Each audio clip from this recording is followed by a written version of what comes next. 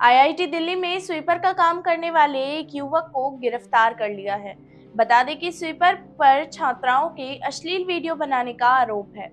मामले का खुलासा तब हुआ जब एक छात्रा ने इस संबंध में शिकायत की। दरअसल, आईआईटी दिल्ली में शुक्रवार को एक फेस्ट आयोजित किया गया था। इस फेस्ट में हुए फ़ैशन शो में भाग लेने के लिए भारती कॉलेज की करीब 10 छात्राएँ गई थी। फ़ैशन शो के दौरान जब छात्राएँ वॉशरूम में कपड़े बदल रही थी, तभी छात्राओं ने नोटिस किया कि उनका कोई वीडियो बना रहा है। जब छात्राओं ने उसे रंगे हाथ पकड़ा, तब उसने माफ़ी की गुहार तक लगाई थी। साथ ही इस मामले की जानकारी छात्राओं ने आईआईटी प्रशासन को दी, लेकिन छात्राओं का आरोप यह भी है कि प्रशासन ने इस मामले पर कोई कार्रवाई नहीं की और घटना को दबाने का प्रयास किया। उन्हें किसी प्रकार की मेडिकल और साइकोलॉजिकल सपोर्ट भी नहीं दिया गया।